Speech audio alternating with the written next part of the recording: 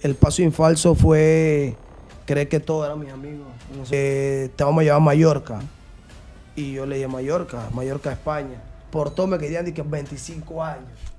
Y yo, no, yo comencé a debatir con el abogado y bravo. Y el abogado me decía, no, pero yo no me voy a calmar, ¿cómo me voy a calmar? Ah, estás cagado, esta mierda, no sé qué. Y yo me le quedé yo le dije, profe, yo nací para esto.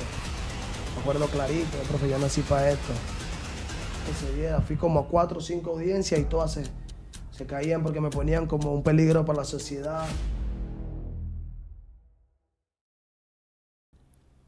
3, 2, 1. Hola, hola, hola, bienvenidos a este primer podcast con Teledeportes, eh, con un jugador fuera de serie, esos jugadores que eh, nos dio muchas alegrías en el fútbol y todavía nos está dando. Eh, en los últimos tiempos no hemos tenido un jugador como él, Lobo. Si no hay mejor persona para darle la, bienvenida que eres tú. Claro que sí, le damos la bienvenida. No vamos a dar mucho detallito, porque creo que es una sorpresa en este primer podcast, hablando claro aquí con Teledeportes. Eh, un jugador que llevó a su primer campeonato a un equipo, no voy a decir mucho, no voy a decir mucho. Eh, vamos a darle la bienvenida aquí a Darwin Pinzón. Darwin, bienvenido. eh, un placer para nosotros eh, tenerte aquí en este primer podcast. Estamos, como quien dice, de estreno. Eres el primer podcast de nosotros. Estamos estrenando también estudio. Y agradecerte, ¿no? Agradecerte por venir y toda la camaradería que has tenido con nosotros. Pero quisiera primero empezar con tus inicios. ¿Cómo fueron los inicios de Darwin Pinzón? Bueno, primero que todo, ¿no? Saludo a todos los, los oyentes, eh, a ustedes por tomarme en cuenta. Eh, la verdad que para mí es de gran satisfacción esto. Eh, y bueno, creo que más que todo como disfrutarlo al máximo este momento. Son momentos que no se van a olvidar y también por darme la primicia, el privilegio de inaugurar este, este espacio que me están dando. Claro, claro, Darwin, esto para mí también es un orgullo tenerte aquí eh, y un honor, hermano. Así que vamos a entrar en materia, hermanito. Así que, ¿quién es Darwin Pinzón? ¿De dónde viene? ¿Quién fue el que lo metió en este camino del fútbol? Bueno, eh, sabemos que para todas las cosas, ¿no? Creo que Dios ha sido el que, el que ha repartido los, los talentos, los dones. Y pues a mí me tocó el del fútbol y respaldado por mi padre, que en su momento era el, el que jugaba fútbol, mis hermanos. Eh, vivo o nací, me crié en la Fula, la colina Cerro Batea, calle principal, casi todo, todos lo saben. Y ahí fue donde di mis primeros pasos, una escuelita que se llama Unión Nacional, eh, que quedaba en, en el pueblito de, de Santa Librada, donde el dueño era el señor Luis Espinosa Vega, que hasta la fecha Dios lo tiene con vida, para mí es como un padre y creo que, que esos fueron los, los primeros pasos que yo empecé a dar hasta poder llegar hasta donde estoy, gracias a Dios. No, la verdad es que, que, que, que buenos inicios, hermano. Esto, ¿quién es ese ídolo que te motivó a querer llegar a ser futbolista que tú y que bueno, yo quiero ser como este jugador, que tú lo admirabas, que tú decías, este es el Bas, este es como él yo quiero ser? Bueno, la verdad, no, yo creo que siempre lo he dicho y siempre lo he afirmado. Eh, nací en una familia donde se ama el fútbol eh, y bueno, tengo dos hermanos mayor que yo que han jugado fútbol conmigo también en primera división, eh, José Pinzón y Héctor Pinzón, que, que es el mayor, creo que, que para mí es mi ídolo. Él fue el que me motivó cuando él estaba en la escuelita de Unión también. Eh, jugaba mucho esto, este deporte y la verdad que que por él fue que mi otro hermano y mi persona comenzamos a seguir eso y creo que él fue un molde, un modelo para nosotros. Eh, y luego a pasar del tiempo que ya comencé a ver el fútbol de otra manera, que ya sabía cómo eran todas las reglas. eh, para mí también en lo personal, eh, el jugador Ricardo El Patón Feeling es mi ídolo nacional. Empezaste en Ciclones, Darwin. ¿Qué No, yo empecé en Unión Nacional, como te dije. Eh, jugué ahí mucho tiempo en Territorial de San Miguelito, eh, Mundial de Clubes aquí y pertenecía a esa escuela, a esa institución. A los 14 años eh, la escuela tuvo un bajón. Yo tuve que buscar eh, cómo mantenerme. Eh, quedé en Ciclón Panamá con el, con el profesor que estaba en su momento y muchos jugadores que hoy están en, en la élite y fuera del país jugando también. Y luego de allí fui a la eliminatoria con la selección sub-17, eh, al premundial y pues ya al regresar de eso, ahí fue donde comencé y quedé con el Sporting de San Miguelito. Estaba entre el Tauro y Sporting y al final me decidí por Sporting porque es parte del distrito donde yo, yo nací me- y me he criado. ¿Debutaste en primera con Sporting? Sí. ¿A qué edad? primera- creo que como a los 14 para 15 años. No me equivoco. Contra Atlético Chiriquí. más bien. Inolvidable ese debut, ¿no? Claro, inolvidable. ¿Quién porque, estaba al mando de Sporting en ese tiempo? Eh, estaba en ese entonces, creo que el profesor Richard Parra, si no Wow. me equivoco. Ya hace un, un buen tiempo. Y después ahí fue pasando al profesor Pacífico y fueron más, más técnicos allí. Eh, Darwin, eh, voy a meterme yo, yo soy la tercera voz para que... Mira, siempre hay un partido que uno está alguien viéndote, alguien diciendo, Chuzo, ese la tiene, jugabas en Ciclón, me imagino, para luego irte a Sporting. Eh, ¿Fue en la distritorial o fue en la, en la birria, en la cancha quinta y llegó a Sporting? Bueno, la verdad lo que me llevó a Sporting fue el trabajo que yo, yo estaba haciendo de muy niño, como le digo con el señor Luis Espinosa Vega. Eh, es que lo que pasa es que la escuelita era muy reconocida al nivel del distrito, pues. Siempre estábamos en pelea de campeonatos, siempre estábamos allí. Entonces yo tenía un factor ventaja que era que, ponte que a los 11 años eh, me colocaban a jugar sus 13, sus 15 y por ahí muchas veces también sus 17 sin tener mi edad, pues. Siempre estaba muy por debajo de todo y eso me hizo como reconocerme más y entonces en la distritorial de San Miguelito estaba el Sporting también compitiendo, habían varias escuelas, entonces Sporting como era un equipo élite, ellos ya sabían mi, mi- mi crecimiento en la escuelita, entonces eh, nada más fue parte de, de disfrutar ¿no? el proceso y, como te digo, quedé en ciclón porque también quedamos jugando una sub-23 y creo que el jugador que tenía más edad ahí podía tener como 15 años, siempre jugábamos puros jugadores muy jóvenes y creo que de ahí fue donde también nos convocaron a la selección sus 14, sus 15 con Panamá hasta llegar al Mundial y bueno, creo que más bien fue eso, pues yo seguí el camino porque ya estaba casi formado. Claro, llegas a Sporting como un joven soñador, con ganas de querer triunfar, sin saber de que Dios te tenía preparado para ser un campeón y hacer historia en este equipo. Cuéntanos toda tu experiencia sobre Sporting, desde, desde que entraste hasta cuando saliste campeón y nos diste esa, esa, esa copa. Bueno, sí, como tú lo dices, ¿no? Para mí eh, era una satisfacción en ese entonces jugar el fútbol, es mi pasión, es lo que amaba, lo que quería, lo que quiero. Y en esos momentos, viste, uno es niño, uno ni siquiera sabe la magnitud que, de la cosa que le tiene Dios a uno. Y pues yo lo que hacía, y recuerdo muy bien, era que simplemente disfrutaba lo que hacía. Y más porque, o sea, todo el mundo tenía que ver realmente cómo jugaba, las cosas que hacía a mi corta edad, pues y jugando en categorías que no eran mías, creo que, que para mí siempre disfruté eso y cuando fui a cosechar las cosas, eh, ya iba paso a paso, eh, Sporting, debuté, estaba viajando con la selección eh, y luego de allí, ponte que a los, a los 13 años ya más o menos tenía un horizonte, tenía un futuro marcado. Como te digo, ahí comencé a seguir al, al Ricardo Patón Feeling, mi ídolo, hoy en día a nivel nacional. Y yo decía que algún día tenía que llegar a la selección. Ya me comencé a trazar metas con mis compañeros que hoy en día también lo han estado. eh, y también creo que son sus sueños. Entonces, llegué ahí con la ilusión de que, de que las cosas se fueran dando paso a paso. En verdad disfruté más con la selección porque se trataba de muchas, muchas copas ahí mismo, eliminatoria, premundial, amistoso, viajes, etcétera.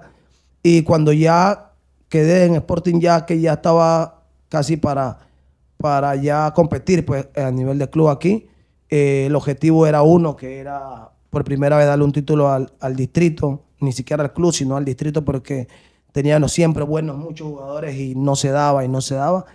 Y creo que todo pasó cuando nadie se lo esperaba.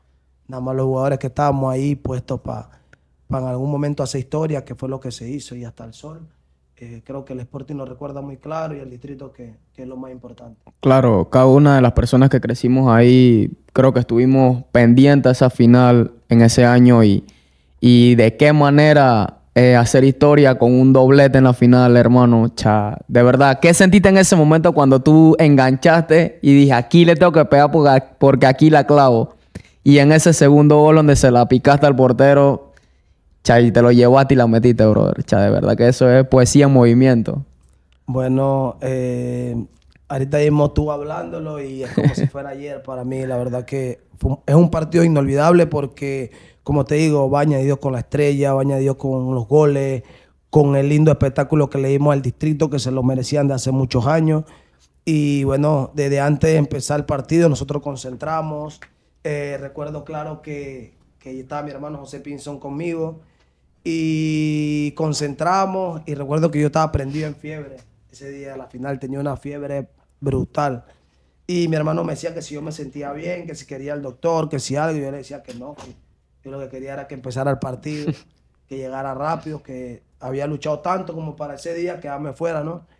Y mi hermano me tocaba y estaba prendido enfermo, está como loco, te puede dar algo. Y yo le decía, me va a dar algo guarde, pero yo necesito WhatsApp final. Y recuerdo bien que estábamos ahí conversando con algunos compañeros. eh, teníamos la buena vibra, teníamos todo, recuerdo claro, llegó el señor Raúl Pineda eh, con el hijo rico, que también jugaba con nosotros ahí en Sporting, eh, nos, no- no- nos dio una motivación extra. Y salimos para el estadio y mi hermano me decía, mira, no sé qué, que, que esto y lo otro. Y yo le decía, yo tengo que jugar. Llegamos al estadio. Cuando llegamos al estadio, que estamos bajando, entramos al, al, al Rommel y el cuadro estaba súper espectacular, estaba lindo, lindo, lindo, estaba verdecito y la gente. Comenzamos a caminar yo decía, hoy es el día. Hoy es el día porque no va a haber otra, no va a haber otra oportunidad. Y ahí conversando más que todo con mi hermano, que era el que me la pasaba ahí, le dije, antes de empezar el partido me voy a tener que echar cofal en el abdomen, porque tenía en el abdomen bajo, tenía el nacido, no me dejaba correr y patía bien. Y él decía a mi hermano, me voy a tener que echar cofal y a lo que Dios quiera. Empezamos a calentar, tenía mucho nervio porque me estaba molestando mucho. Y mi hermano me decía, si no puedes, quédate. Y yo le dije que tenía que morir en el cuadro, me recuerdo claro. Y más por las personas que siempre nos habían apoyado, personas que se nos habían ido en el, en el trayecto, el proceso.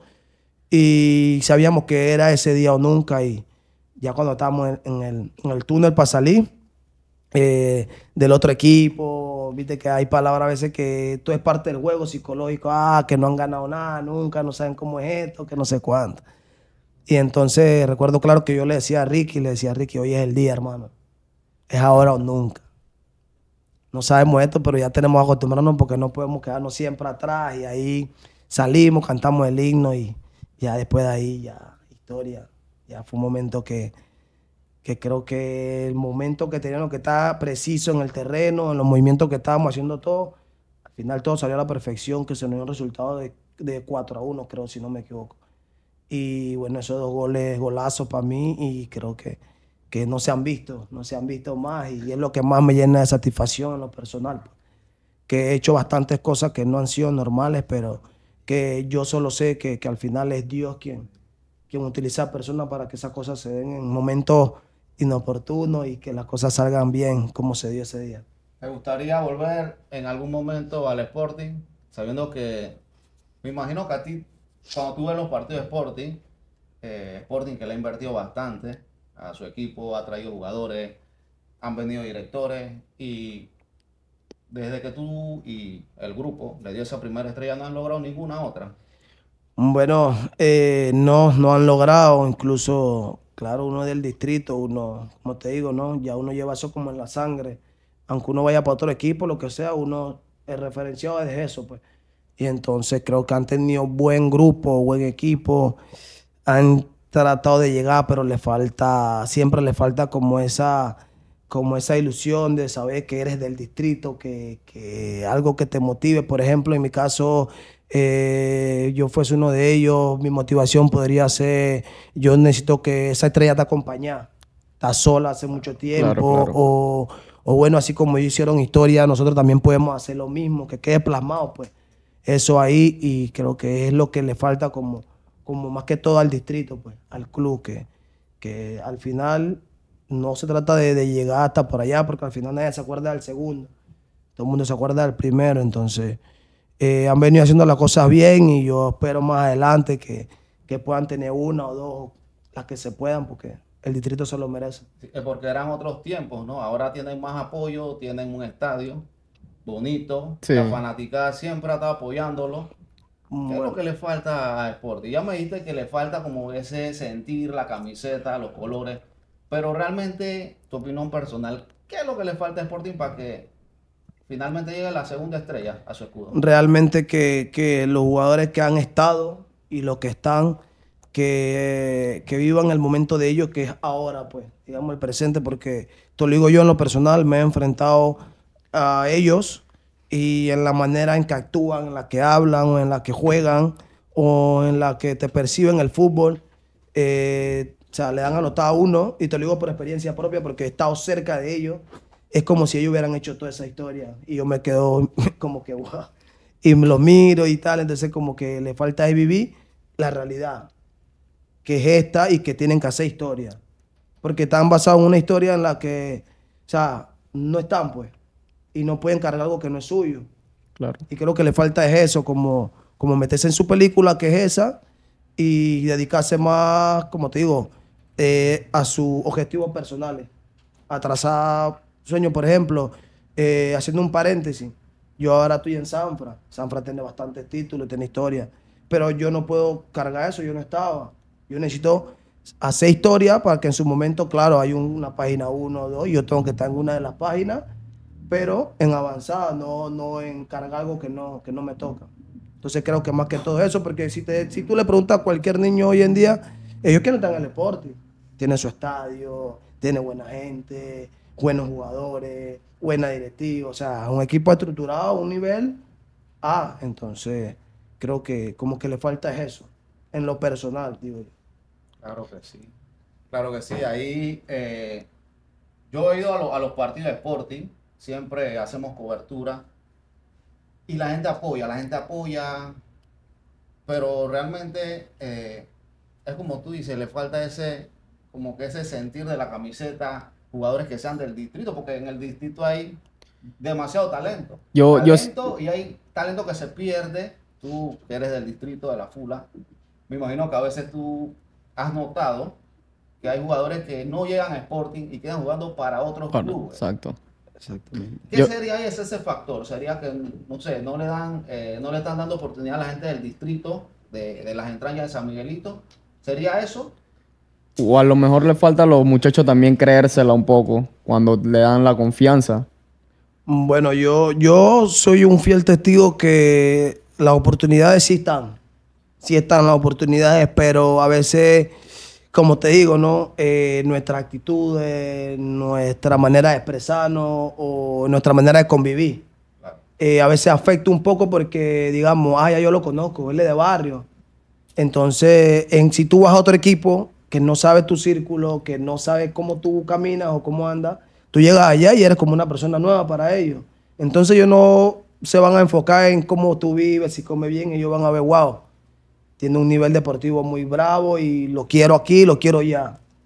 Y entonces, en esos son los dos panoramas que, que siempre quedamos más la gente del distrito porque hay muchos jugadores, mucho talento.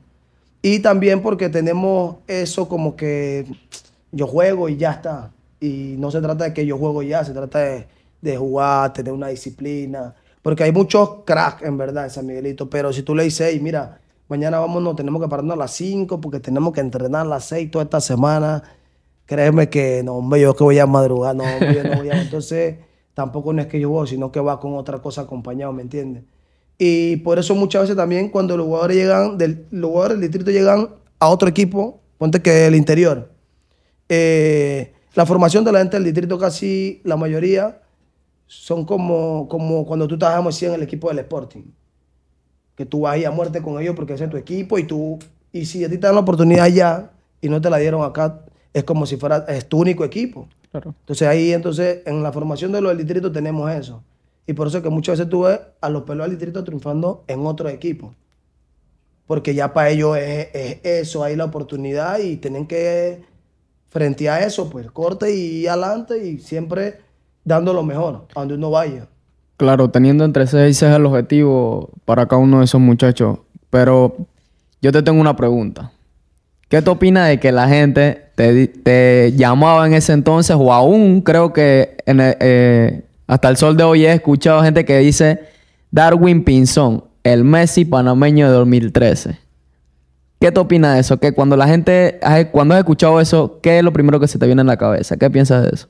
Bueno, yo la verdad que, ¿qué te puedo decir? Cuando la gente me compara con algún jugador o con- en especial con Messi, me acuerdo de mi niñez, la verdad que, que hacía muchas cosas muy, muy, muy diferentes a todos, a mi corta edad, como te digo, y, y me quito un poco de años encima.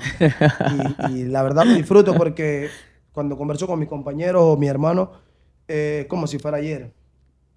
Y yo trato de inculcarle eso a todos los pelados hoy en día, los que están en mi equipo, los que están en otro equipo, que hemos tenido una buena amistad, de que las cosas tienen que valorarlas ya para allá, de un día tras otro, un día tras otro, porque a veces nos relajamos mucho, ah, nada más cuando vamos a ver ya estamos en un laxo en el que cuando miramos para atrás, los que estaban detrás de nosotros están por encima, por cuestión de pensar de que, ah, no, ya estamos bien y estamos lo otro, entonces creo que, que trato como de, de darle eso porque ya he vivido tantas cosas en verdad que me han dado alegría, dolor, lo que sea, pero eh, siento como que han pasado muy rápido por mis manos, pues. He sentido como que no logré valorar todo a su debido tiempo, o sea, lo veía algo tan normal cuando para otro futbolista o para otra persona sería como algo, como tiene que ser algo extraordinario, pues. Claro. Y creo que, que más que todo eso, yo me traslado hace tiempo cuando era un pelado y entonces todavía ahora que, que todavía hay magia, todavía hay Sí, algo, todavía, hay sí. cosas, también hay que ser Todavía saca sincero. la varita No, ahí. también hay que ser sincero que, que, que, bueno, ha tenido ese don y es sobrenatural porque yo mismo me, me he autoevaluado, autocriticado y creo que, que hay cosas que incluso hasta en los entrenos, en los partidos, me salen cosas en segundo que, que claro, en el momento lo hago, pero ni por mi cabeza me pasa que bueno, ahora voy a intentar hacer esto, ahora voy a tratar, no, yo juego ajá libre y ahí voy, como se dice, eh, construyendo y repellando lo que hay que repellar por ahí, pero haciendo yo y, y aprovechando cada vez que la gente se acuerda de mí o me, me, me hace echar para atrás 3, 4, 10, 15 años ahí, yo lo valoro. Empezaste muy chico, Darwin, ¿no? ¿Te gustaría volver al tiempo y vivir, seguir viviendo esa niñez? Porque cuando uno juega de niño al fútbol, uno lo hace por, por placer, porque le gusta, por amor. Eh, ¿Tú sientes que ahora los jugadores, como se les paga mejor que antes, ya han perdido ese cariño por el fútbol? Bueno, yo, yo creo que eh, el tiempo de Dios es perfecto. ¿ah? Lo, lo que no va a tocar, no va a tocar. De repente Ah, sí. yo acepto la cosa de parte de Dios y siento que este ha sido, esto es lo que esto es, esto es mi, mi libro. O sea, lo que que nací hasta ahora que estoy con vida y salud, siento que ya todo eso ya estaba escrito por Dios. O sea, siento yo que apenas nacemos, ya está listo el expediente. O sea, no se añade ni se, ni se resta nada y creo que es lo que me está tocando. Y por cuestión, como tú dices, de repente antes se pagaba menos, súper menos, súper. ¿Cuánto súper, era el salario, como quien dice, estándar de los futbolistas Bueno, en esa época? En ese entonces yo era el- uno de los más jóvenes de la camada, eh, era el más joven. Y me acuerdo que mi primer contrato profesional yo cobraba 40 dólares mensual, 20 dólares por quincena. Y ¿Alcanzaba? ¿Qué- no, no alcanzaba, no, no alcanzaba para ¿Qué nada. hacías con ese Nada, dinerito no alcanzaba para nada. llegaba? No me llegaba, se lo, tenía- se lo entregaba a mi mamá o, o más que todo porque se gastaba más en pasajes que lo que cobraba. Claro. Entonces había que hacer la- el descuento directo. Darwin, eh, volviendo al tema del campeonato con Sporting, eh, nos imaginamos que siempre con equipo queda campeón y el jugador estrella llega a dos que tres clubes de afuera y dicen, hey, yo quiero que este lo, eh, lo quiere mi plantilla. ¿Escuchaste o te diste cuenta alguna vez que un club te quería dentro de su fila Eh, ¿A nivel nacional o internacional? Eh, internacional? Internacional. Eh, sí, claro. Cuando quedamos campeón, incluso antes de eso, ya como te digo, mi trayectoria ha sido tan buena que ya estaba viajando con la selección, ya me conocían en otros lados. Y cuando quedamos campeón, el presidente del club, eh, Manuel Mirambel, me dice, hijo, eh, te vamos a llevar a Mallorca. Y yo le dije, Mallorca, Mallorca, España. Yo le dije, wow. Yo, bueno, Dios, lo que usted me diga eso es, yo estoy listo, estaba joven, contento. Y él me dice, bueno, no le vamos a decir nada a nadie, te vamos a mandar para España. Y ya cuando la noticia se oficialice, ya la damos y te quedas allá y vives allá. Y, y fue lo primero que hicimos. Yo estaba en la selección, recuerdo. Eh, fui allá, conversé con los profes, me dijeron que estaba perfecto, que no había ningún problema. Y estuve allá como por, como por seis, siete meses, por tema de- de- como de la ficha, de allá mismo, como en España, estaban buscando apellidos, cosas así, como para como para familiarizar algo, para yo poder jugar con una plaza de allá, España, algo así, un tema bien delicado y no se pudo concretar. Y ya para el tiempo me tocó regresar, pero eh, como tú lo dices, ¿no? O sea, se veía todo muy claro porque terminábamos ese campeones, eh, figura, goles, eh, y qué te puedo decir, muy contento. Habían varias ofertas, sí, pero se cogió más la de Mallorca España porque el presidente del, de- del Sporting vivía allá. Entonces quedamos allá y se disfrutó todo. Darwin, Manolo, Manolo Mirambel eh, es un antes y un después del fútbol panameño. Cuando llegó Mirambel con su familia, eh, él empezó a darle eh, buenos sueldos a, a, lo- a lo- al jugador, A los que estaban allí. a lo que estaban. Eh, tú eras como el hijo de él. Se puede decir en pocas palabras, te tenía esa fe, te llevó, me- nos comenta que te llevó a España. Sí. Hizo, hizo bastante obras buenas con- en lo personal y con mi familia. Porque eh, recuerdo que él llegó, teníamos, en ese tiempo le decían al Sporting, creo que los Galácticos tenían eh, bastantes jugadores buenísimos, la plantilla era la más cara. Si no me equivoco, el que cobraba menos podía cobrar como, en ese entonces, como 4 mil dólares mensual. Wow, O sea, te hablo. Sí, en ese entonces, sí. claro, el que menos cobraba podía estar, podía estar como en de los de los top, como en mil, mil dólares de otro equipo, pues. Y ya le había hecho otras obras que había sido cuando nosotros clasificamos al Mundial de- en México, sub-17, eh, clasificamos y tal. Él había quedado en que me iba a hacer un regalo y no sé qué. Cuando volvía, yo le dije que no, porque yo quería cumplir mi sueño. Mi sueño era que algún día mi mamá y mi papá me fueran a jugar fuera del país, pues. O sea, no sabía si era un club, una práctica, lo que sea, pero era mi sueño. Entonces, aproveché ese momento y le dije, no, yo no quiero, no quiero plato, yo no me quiero que mi mamá y mi papá puedan ver el, el partido acá en México, en el Mundial. Y él no dudó, él no dudó, créeme que eh, mi papá lo fueron a buscar en el trabajo, él me contó pues que lo, lo- lo comenzaron a llamar y que él decía que él estaba ocupado, que estaba trabajando, que estaba ocupado, que Estaba en la suma. estaba ajá, trabajando en la construcción y él estaba ocupado. Y la cuestión fue que tuvieron que llamarlo y él se acercó y le dijo, no, tenemos que irnos ya a sacar el pasaporte, que no sé qué, que dice que de ahí fue como si algo le tocó frío que lo congeló hasta cuando él llegó allá. Pero, y entonces mi mamá también, y antes del partido del octavo contra México, se aparecieron allá. Yo no sabía, no me dijo más nada, nada más me dijo que iban, iban a ver Qué casi. sorpresota. Y cuando llegamos a un entreno así, todo el mundo no sé qué, y yo siempre tenía la costumbre de bajarme buen último, subirme de último, era, era el más pequeño, estaba con esa categoría. Y cuando estamos entrando al hotel, al lobby, al salón, no sé qué, y me acuerdo que estaba el profesor Julio, también había llegado. Y cuando fui a ver, ahí estaba mi mamá y mi papá. Me acuerdo clarito como si fuera ayer. Y, y creo que son cosas que no se han podido olvidar y no se van a olvidar. Como te digo, cumplí uno de mis sueños. Y luego de allí, eh, el señor Manolo Mirambel, o sea, pasó de ser el presidente del club a una figura muy importante para mí y para mi familia, que no siempre tuvo el apoyo ahí. E incluso se desapareció acá y cuando apareció, apareció con el mismo objetivo de querer ayudarme y, y tratar de solucionar el tema donde yo estaba. Y se solucionó y todo fue gracias a Dios y a él y a otras personas que... Háblame un poco de, de- de lo que fue el Mundial en México. También ibas, como quien dice, regalando edad también. Eres, eras de los más... No, De los más no, jóvenes. no, ya, ya ahí, ya ahí yo creo que por meses hasta yo creo que puedo ser mayor que, que como de la mitad. Porque lo que pasa es que yo cumplo en abril y la- los de los otros casi la mayoría cumplen eh, de, de agosto para allá prácticamente. Y yo, yo cumplía primero que casi todo.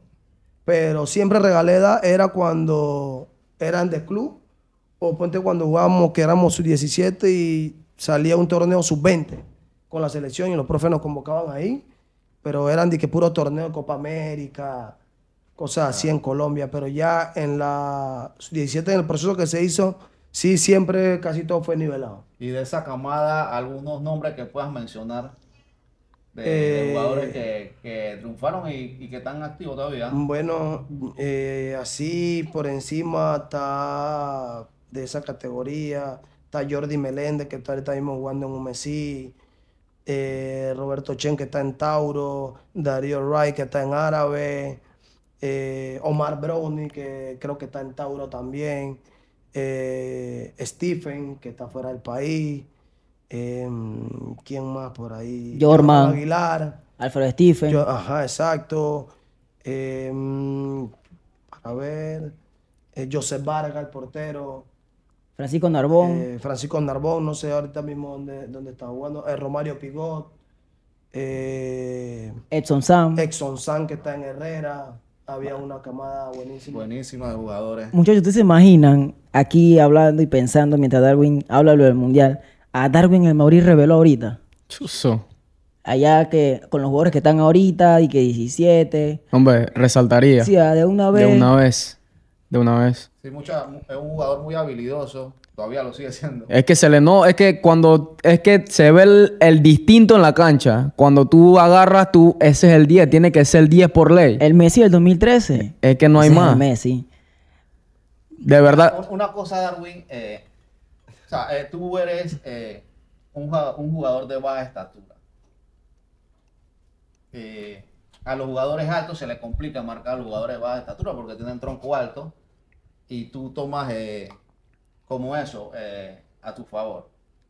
De los que te han marcado en, este- en esta temporada que estás jugando, de los jugadores, por ejemplo, defensores que te hayan marcado, que tú dices, no, este man es un problema pasarlo. ¿Alguien que se te venga a la mente o, o antes de este torneo? Mm, Bueno, la verdad, la verdad, eh, no es un problema. No es un problema porque eh, han cambiado muchas cosas, como te digo. Si tú me dices a mí de hace 10 años, Fácil. créeme que yo Era te, fácil, yo te puedo ahora. mencionar, no, antes habían más, más tigres porque, como te digo, habían jugadores élite. Por ejemplo, yo te puedo mencionar, a mí se me vino a la mente una vez, pensando que me iba a decir de hace un montón de años, Lucho Moreno. Ese era un tipazo, ese era complicado. Ese Y lo pasa, peor, la bola no pasa y lo peor es que él te, él te lo decía, ey, ey, ey, pelado, vete para allá que te voy a partir el pie. y entonces, uno pelado, y uno veía hacer un jugador de 28, 29 años, y ya tú decías, tú, wow. Pero era por ahí, entonces, si en ese entonces era por ahí que yo me metía, porque era la única manera de, de que las cosas se dieran, ahora, o sea, jugadores que me ha tocado a mí, ve, o que yo en su momento me veían, pues. Entonces creo que ahí, para mí, en lo personal, así dije un defensa que yo te dije que es complicado, algo, creo que te mentiría si te digo uno, si hay buenos centrales, sí lo hay. Hay buenos centrales, línea defensiva, incluso hay buenos, más marcan los cinco que de repente, porque casi todo el equipo tienen buenos cinco, que son los que más marcan y se le complica uno por ahí, pero, pero así que te diga no, incluso... eh, ¿Había ¿Han- mejores defensores antes o ahora? es como te digo, de repente es por, por, por cambiar el panorama. Por cambiar el panorama. Ponte que antes yo era el pelado y yo veía a, los- a todos los top. Y ahora ya estamos en una edad de que hay buenos pelados, pero son menores que uno. Pues. Y, más que todo, a mí es que respetan la trayectoria de uno. O sea, que ellos ven a uno y, el trato que uno le da, ellos saben de que, de que las cosas son serias. Lucho Moreno, difícil pasar Lucho Moreno, ¿no? Sí, estaba Lucho Moreno, Parry, Jan McLean, que ese era otro que... pff. Y te estoy hablando de Tauro, en, en árabe estaba la antena Lewy, había, un, había un- una cantidad de Me imagino la antena Lewy marcándote. Solanilla, guapo. Solanilla, otro también, Suerte que era de mi equipo, sí. Serio, otro monstruo. Esos eran puros... En los entrenamientos pasaba páramo. Sí, cuando- eso eso- pero por eso te digo, o sea, eso fue lo que, lo que me, hoy en día, o sea, todo eso me cochó para lo que estoy viviendo ahora. pues. Claro, claro. Porque ya lo que pasa ahora casi no es nada, porque realmente antes era brutal, era, no había un- tantas cámaras, no había tanta polémica de nada, y entonces habían árbitros por ejemplo, como Lucho Moreno, como Moreno, este, el de, el de- ¿cómo es que se llama? Se me escapa el nombre, Eh, el colonense. Roberto, Roberto. Roberto Moreno. Moreno, Robert. eh, Piti, habían árbitros que... Mira, ya, ya que estás tocando el tema de los árbitros. Los árbitros eh, en esa época eran, eh, no te voy a decir mejores, sino que a la toma de las decisiones tenían eso, que sí te pitaban lo que era, porque ahora vemos mucho desacierto a la hora de pitar. O sea, tenían como más carácter. Es que, Puede que- ser carácter, puede ser toma de decisiones. es que, ¿qué pasa? Que este es un país muy pequeño, ¿sí o no? Eh, la liga es corta y aquí todo- todos nos conocemos. Entonces llega un punto de que llegó, llegó un árbitro nuevo. Con el tiempo, el árbitro, tú vas a un mall, tú ves al árbitro en el mall. Cuando te vas a enterar, casi es vecino tuyo, un ejemplo, y se frecuenta, pues, y todo el mundo. Entonces tú haces amistades con todo porque también eres una persona. Pues me pongo en la posición del árbitro, eh, y tal. Y llega el día del partido, pero me llevo bien contigo, me llevo bien contigo. Y entonces mezclo como, como eso, o de repente le doy la autoridad, porque ya me conocen, a que me hablen de una manera no adecuada, que ah, tú eres mi amigo, así que a este man no me va a decir nada. Entonces, eso como que se ha vuelto como que muy, muy, ¿cómo te explico? Ha, ha como enfriado todo, porque en el sentido, ¿cuál te lo digo? Con, con Moreno.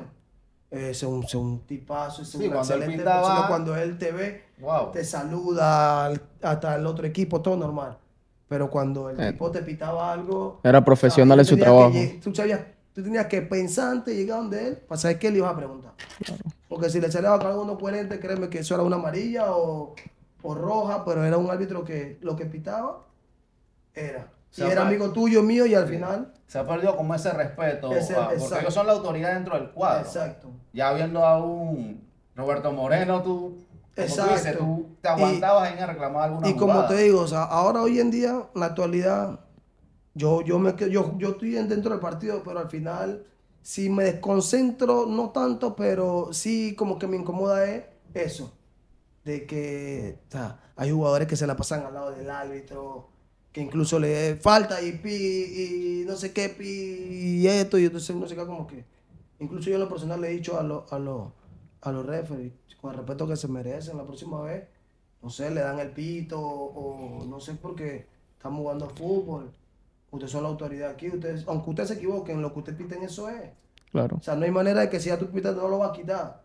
Ya lo pitaste, tienen, tú tienes que hacer que respeten que esa es la decisión que tú estás tomando. Entonces eso es lo que, lo que está faltando hoy en día, porque yo me quedo impresionado cómo le hablan. Yo mismo le digo, yo, "Oye, ¿cómo tú permites que te hablen así? Que, que no, que que estar respetada, que no, antes no podían ni acercarnos a los árbitros. Nada, eso era una falta de respeto tocarlo. Ahora no, ahora. Te iban tarjeteando todo, de una vez. Eso antes no era hablando mucho y ya.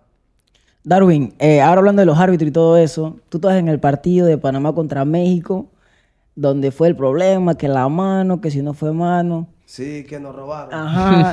Cuéntame, ¿cómo tú lo viste desde la banca? Bueno, es que un día antes la, la, la, estaba la presión alta, muy alta, estaba la misma, eh, el entorno estaba... Es que Tenso. jugar en México una, una vaina brava, me imagino. Con ellos ni se diga. Entonces, cuando empezó todo, todo el mundo iba, todos los jugadores. Yo, eh, la primera vez que veía eh, Panamá, los jugadores en otra faceta. O sea, los partidos íbamos todos a muerte y todos hablando, Román, todos los jugadores de jerarquía y, y yo ahí escuchando todo.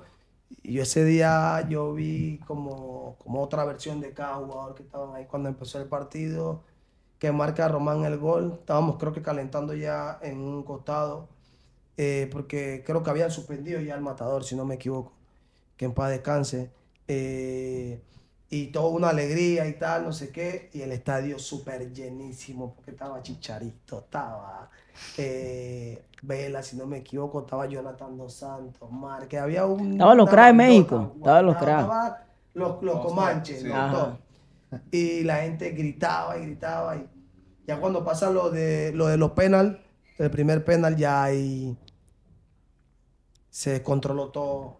Desde el portero hasta los cambios, todo, porque no, no, no vimos justo. Y se comenzó a distorsionar todo el partido, a tirar objetos, a corretear gente. Eso fue una locura. En el momento habían, habían decidido los, los capitanes que no se iba a jugar el partido y así no íbamos a salir. y por orden del profe Hernán, eh, que nos quedáramos y se habló y nos quedamos. Y al final pasó la tragedia esa, que no, no era lo que, lo que tenía que pasar. Y en lo personal, lo, lo, lo aproveché al máximo. Para mí ha sido uno de los más bonitos escenarios que yo he tenido en mi vida. ¿Crees que cuando el profe Hernán Darío eh, tomó la decisión de reanudar, reanudar el partido, ¿estuviste de acuerdo con eso? Me imagino que lo que diga el profe, eso es, pero ¿estuvieron de acuerdo muchos los jugadores o muchos se sintieron como que, profe, no vamos a jugar? No, lo que pasa es que el profe Hernán al final, eh, si yo era uno de los más jóvenes y me quería como un hijo, los más viejos, los que tenían más jerarquía también. O sea, Claro. Él, él sabía que la única manera de sacarle eh, ventaja o sacar lo mejor de cada uno era teniéndonos a todos por igual. Claro. Entonces, eso fue lo que él hacía. Entonces, el mismo, el mismo equipo lo respaldaba en todo tiempo. Y cuando él vio a los jugadores que estaban molestos, él no, no decía nada porque, claro, a la razón, ¿no? Él no decía nada, estaba la calentura. Y ya después se le acercaron los compañeros y él mismo también se acercó, ¿no? Que no sé qué, que si no, la FIFA nos va a poner una multa de no sé cuánto. Y se comenzó a hablar y se escuchaba todo porque estábamos todo el grupo. Entonces, eh, como te digo, en ese entonces uno no podía opinar en nada, uno tenía que, que escuchar a los mayores y si decían para la derecha, era para la derecha. Claro, claro. Entonces, en ese momento tú tenías hasta que esperar de último para subirte al bus, te bajabas, tenías que apoyar con la bolsa de la utilería por ser el más joven. Y es como una formación, pues que también ahora se ha perdido mucho eso. Me tocó vivirla eh, en carne propia entre- con la selección nuevamente y con, con el club. Eh, y allá no se dijo más nada hasta que el profe dijo, entremos al terreno, eh, sí o sí, mariconcito, tal, tal, tal, tal. Y entonces el lugar bueno, vamos a terminar la guerra, pero sí sabiendo de que iban a pasar cosas como las que, como que, las que llegaron a suceder. Y él lo que quería era que muriéramos en la cancha, pues como, como unos soldados, como unos guerreros. Y, y más porque también el presidente de la República también estaba encima de que se jugara, porque el tercero y cuarto no se iba a jugar. Por lo, por lo que había pasado, pues, porque nosotros deberíamos estar en la final. Y se había tomado la decisión de que no, y el presidente y el profe, entre todos los jugadores, se convencieron cuando vamos a jugar el tercer y cuarto, que fue donde quedamos el tercero contra Estados Unidos, que nos fuimos a penales. Pero así fue todo ese escenario. O, eh, anécdotas que te hayan quedado de, de- de ese proceso, que más recuerdes, eh, alguna con Román, Román, jugadorazo, en ese tiempo estaba Líder. líder, era líder. ¿Tienes alguna anécdota ahí? Sí, tengo anécdota y la verdad que... Suelta, suelta. De repente no, de repente pongamos que en 8 o 9 años que me retire, ya que, que no tenga nada que ver con el fútbol, ya ahí se la ya ahí podemos hablar No, pero- porque son cosas que por lo menos en lo personal yo estoy compitiendo. Claro, claro. Román para mí es como, como un, un padre, siempre me respaldó. En la selección cuando, o sea, normalmente siempre me salían las cosas bien, porque estaba la motivación de que yo lo veía tú y yo en la tele, o lo veía entrenando en mi categoría sub-17, y lo veía yo en la mayor, y yo, o sea, nunca me pasó por la cabeza que iba a estar entonces en la parte esa, metido en la tele con ellos, y que mi familia me viera. Y sí, muchas veces en ocasiones, en partidos muy importantes que se daban las cosas o que yo hacía las cosas bien, Román siempre, eh, como un gesto de cariño, siempre me, me- me hacía buenos regalos, buenos obsequios. Y, y nada, casi con varios jugadores también, Amílcar Enrique, que en paz descanse. Cuando debutó con la mayor, Aquí no. fue con él que, que compartí la habitación. Y también, anécdota de que eh, cuando debutamos, que yo debuto, que marco gol, me, me llama aparte y me dice enano.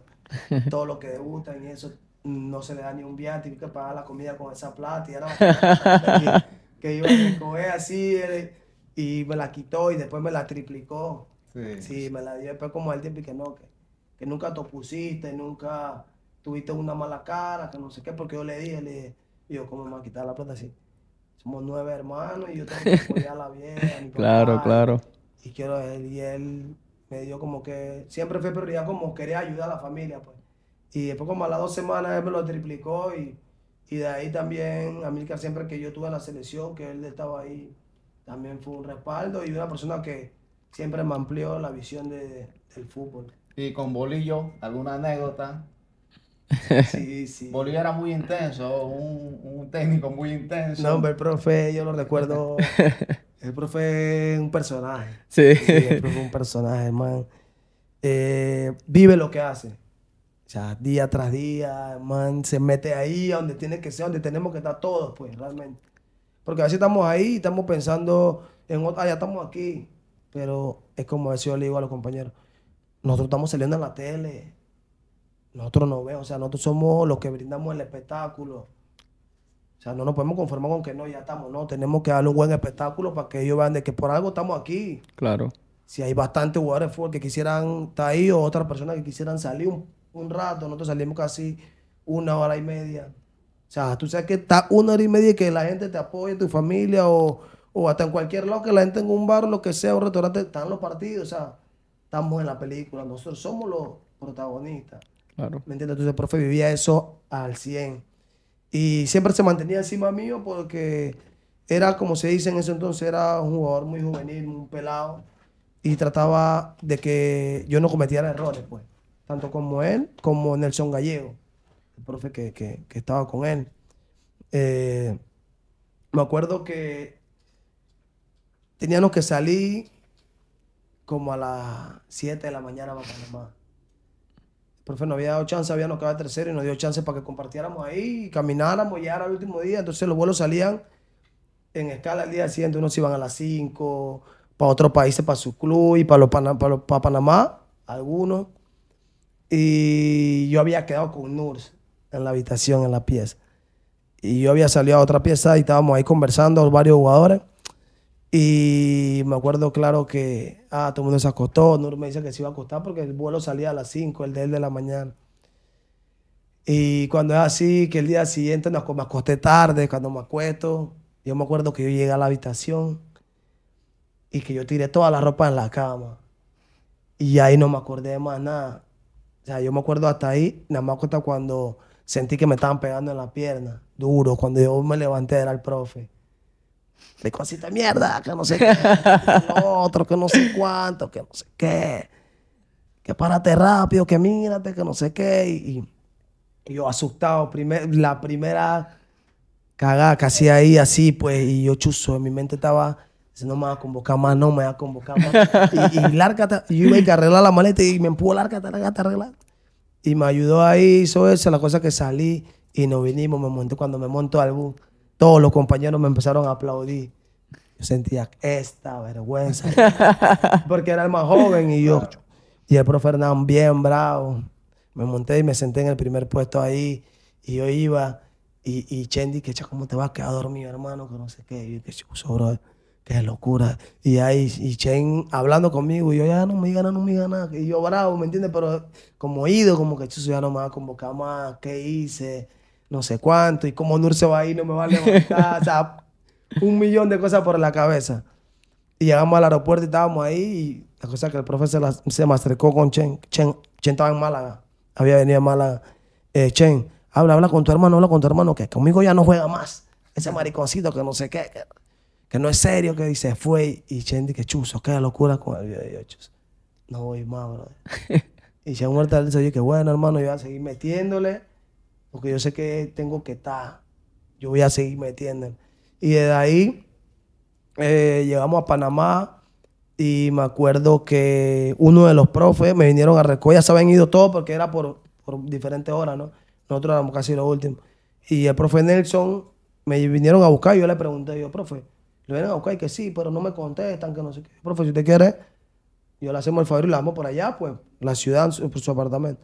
Y nos fuimos con él ahí, ya después de ahí, eh, el día siguiente el profe Hernán me llamó, nos reunimos y me dijo que no me preocupara, pues que, me tenía la buena fe y que realmente el grupo también me sacaba provecho.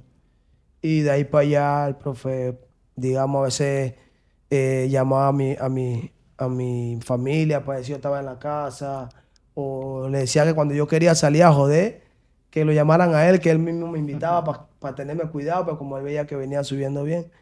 Y siempre tuvimos una excelente relación, la verdad, una comunicación impresionante. Y, y más que todo porque me tomaba la verdad en cuenta. Siempre en ese entonces yo entraba, el primer cambio. siempre todo el segundo tiempo y, y siempre lo aproveché, como te digo. Me puso a debutar, confió en mí, e incluso me ponía en la concentración, a veces me ponía solo. Siempre eran dos por habitación, a veces me ponía solo, que porque era un pelado, para estar concentrado y eso. y siempre me trató como tenía que hacer. Y nada, en su momento de molestia también era jodido. ¿Mantienes todavía ese contacto con el profe? Esa relación con el Bueno, profe. la verdad no, la verdad no. La última relación que tuve con el profe así en comunicación fue cuando estaba en la prisión. Que ellos trataron de, de hacer mucho por mí. Trataron, incluso eh, hicieron una lista de la convocatoria para mundial para ver si, si se flexibilizaba algo con el tema legal y, y no se dio. Pero sí, siempre estuvieron ahí, pasaron como unos dos años, eh, se contactaban con, con mis amistades que tenían la llegada y, y siempre estuvieron ahí, pues pendientes. Y ahora sí que salí, eso no, no. Nada más veo noticias y eso, pero yo sé que algún día o me dirige o jugamos en contra o algo, pero yo sé que algún día me tengo que, que volver a reencontrar con el profe. Antes de, antes de entrar en el, en el punto fuerte de, de- de lo que es este, este podcast con Darwin, esto, yo sí quisiera saber, y creo que las personas que están aquí también, ¿cuál fue esa sensación al, al, al primer llamado que te hizo el profe Hernán para debutar con la selección mayor? ¿Cómo, ¿Cómo te sentiste en ese primer llamado? O sea, ¿qué fue lo primero que hiciste? ¿Corriste donde mamá? ¿Corriste donde papá? ¿Qué fue lo primero que hiciste? No, lo que pasa es que, es que de repente, eh, como te digo, eh, a mí me llama primero cuando estaba el profe Julio. Ajá, Julio, Julio, sí. Exacto, el profe Julio no me llama, en verdad, me llama el profesor Jorge. Porque el profesor Jorge hizo toda la categoría de la sub-15 hasta la 17 que fuimos al mundial. Entonces el profe sabía los jugadores que él tenía allí. Y el profesor Julio muchas veces a los torneos también iba a apoyar pues al equipo y Claro. tal, hermano. Y a mí me llama el profesor Jorge. Y me dice que cómo estoy, que qué estoy haciendo. Y le dije, no, justamente estoy llegando a la casa, que no sé qué. Y que, bueno, mira, llega a la casa, alístate y sale una vez para el Hotel Panamá, que lo que pasa es que Julio te, va- te- te acaba de convocar para, para el partido con la mayor. Y yo dije, que ¿en serio? Y me quedé así, ¿en serio? Sí, sí, pero no te puedes demorar, tienes que venirte rápido. Y yo, bueno, listo, déjeme, déjeme arreglar las cosas y salgo para allá. Y yo estaba como en shock, pero mi mamá me estaba viendo, y mi papá me está viendo que yo estoy de aquí para allá y de aquí para allá.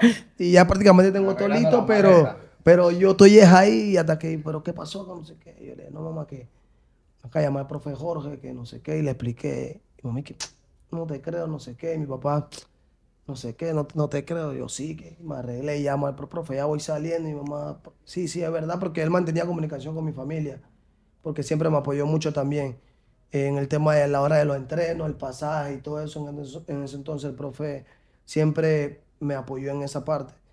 Y yo me fui para el hotel y yo llegué allá, cuando llegué ellos estaban cenando. Y en vez de ir para la cena, lo que hice fue que fui para el, baño, para verme. Y yo estoy ahí, cuando estoy ahí, entró Amílcar. Y yo vi a Amílcar ahí, yo estoy viéndome en el espejo y a mí, yo veo el reflejo de Amílcar y yo lo vi. Y yo me vi a Amílcar y dije, ¿qué pasó, enano? No sé qué. Y yo leí la mano y me abrazó y yo, yo chuzo. Estoy en la papa ahorita ahí, me Amílcar, y me dijo, pero, sea, sabiendo de que mi, uno de mis objetivos eran esos, pues. Y yo estando ahí, yo como cachuzo. Fuimos a comer, ya estaban todos ahí. Lo que había pasado era que el ruso no, no, no iba a poder viajar de Colombia a Panamá porque era un partido amistoso. No era un partido de, de FIFA, algo así Fecha importante, FIFA. pero era un partido amistoso. Y como él no pudo, me llamaron. Y estuve ahí, llegué ahí con los compañeros, todo. El partido era el día siguiente, si no me equivoco. Y nos, iban, nos dieron como un boleto a mí, o dos boletos, no recuerdo. Y llamé a mi mamá, llamé a mi papá. Y como que se hacía complicado ir para el estadio por el factor, el pasaje, el transporte y eso.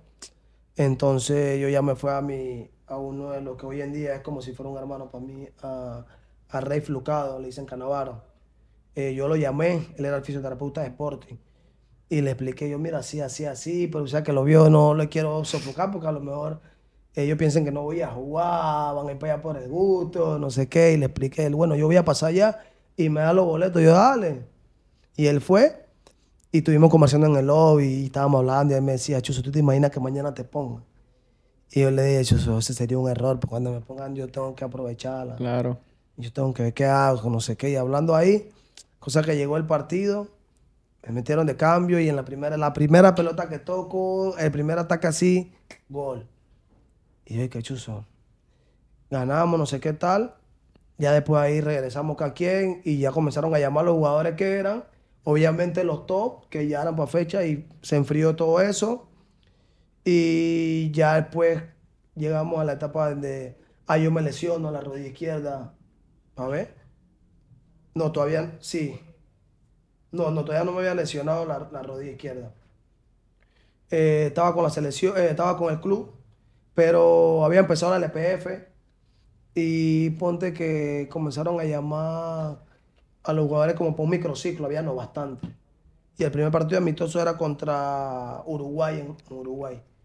Y el profe hizo un primer recorte, pero en el, primer entreno el profe nos preguntó a todos los que nos había llamado, ¿cómo te fue en, este fin de semana? Eh, X personas, no, me fue bien. Ganamos, metí gol, no sé qué. Darwin, bien, ganamos. Eh, ¿Cuánto a cuánto? Tal. Eh, ah, listo. El siguiente fin de semana, de nuevo, la misma pregunta. ¿Y cuánto ganamos? No sé qué. ¿Marcaste? Sí, marqué gol. Ganaron, perfecto. Ya como en la, como en la tercera jornada, él hace el recorte y se lleva el equipo por Uruguay. Ahí yo no, no tuve. Me quedé, no, no sé qué, perdieron, regresaron. Hace el nuevo llamado a los mismos que estaban, ¿no? Más los que estaban. Y el profe comienza a preguntar, ¿y cuánto gol le lleva? ¿Y cuánto gol le lleva? Y recuerdo que nada más llevábamos cuatro jornadas y ya yo había marcado siete goles. O sea, había metido, creo que el primer partido había hecho un hat-trick. Eh, en el segundo creo que había sido eh, Chepo, había marcado dos goles. Y así, pues hice los, ya el profe preguntó siete. Y al otro delantero, ¿cuántos? Dos, tres, uno. Y, y tú estás seguro que sí, profe, siete. Jugando de enganche. Eh, ju- Jugaba de. Sí, casi, ajá, enganche, un falso nueve, un falso nueve. Y de los siete goles, seis eran asistencia de Eric Davis. Estábamos ahí mismo en el Sporting. Y él nos convoca contra Cuba. Y cuando nos convoca contra Cuba, yo ahí sí. Ahí sí se te explotaste, hermano. Que, que estábamos entrenando toda la semana. Y me acuerdo que estaban haciendo un reducido, todos los jugadores. Y en la mitad del campo me amarro los zapatos y era un córner. Y el profe Hernán me dice que, que, que mariconcito, mírame los ojos, yo lo miro. Y yo dije, ah, dígame, y que tú estás capacitado para jugar estos partidos así. O te cagas, que no se queda así en su acento, pues. Y yo me le quedé viendo, ah, estás cagado, mariconcito, mierda, no sé qué. Y yo me le quedé viendo, yo le dije, yo, profe, yo nací para esto. Me acuerdo clarito, yo, profe, yo nací para esto. Y me vino, él me empujó, me acuerdo claro, me empujó por la espalda así y yo, y se echó a reír, yo nací para esto, nada más, nada más voy a esperar mi oportunidad.